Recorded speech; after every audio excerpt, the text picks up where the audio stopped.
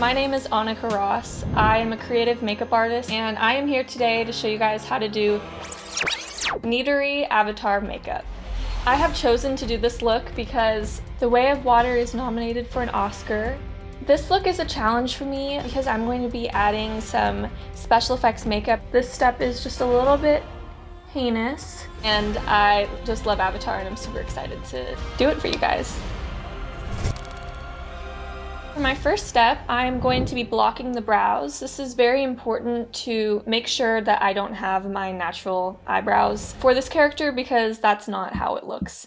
So first, I'm going to take some spirit gum. We're gonna put body paint over it so it won't be too noticeable, but you wanna be able to block it as much as you can just to be safe.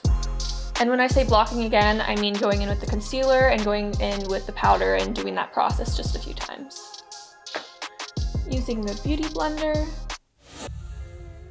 So I like to take some of my Extra Fresh Fake Skin and I'm going to be transforming that onto my nose to make that big nose feature.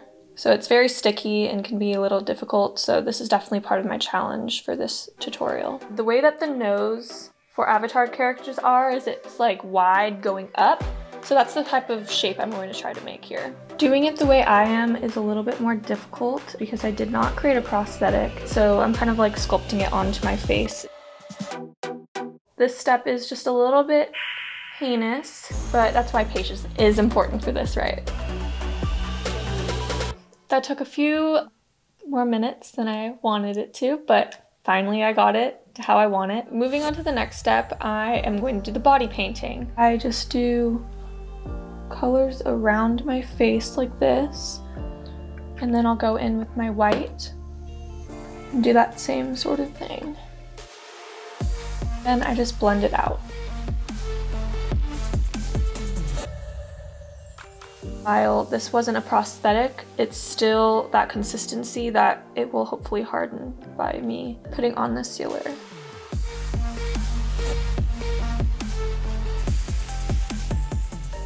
So after we're done with setting powder, we're gonna then want to go in with eyeshadow and create the darker blue lines. So I'm here taking the darkest shade and I will be creating those lines going down the face.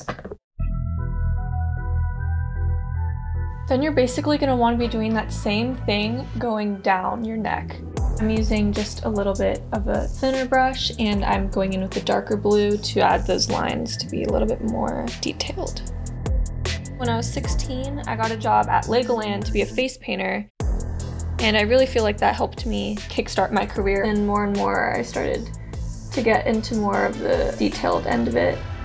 While I'm here, I'm going to trace the nose to like add a little bit of shadowing. When doing this, it's great because it's gonna then kind of show like a 3D look where there's multiple colors, three different shades of blue on my skin. The next thing I'm going to do is I'm going to add the eyebrows. So where I'm going to be adding them is just a little bit above where my actual eyebrows are, like right here. And then we're going to want to go in to make the nose pink and the bottom lip pink. Now we are going to be going in with some white face paint to be putting the dots all over the face.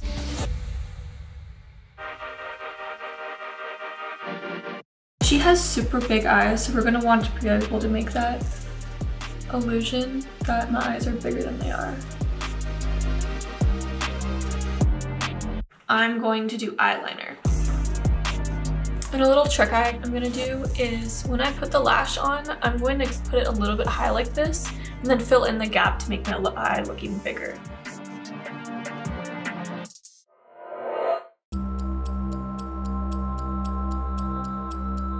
Lashes are ironically one of the hardest things for me to do.